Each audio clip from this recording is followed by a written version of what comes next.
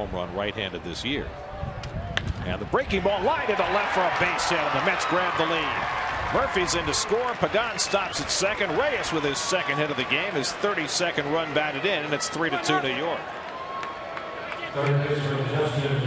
Multiple hit game number 39 for Reyes. You can just book it every time he starts that he's going to get a couple of hits of late.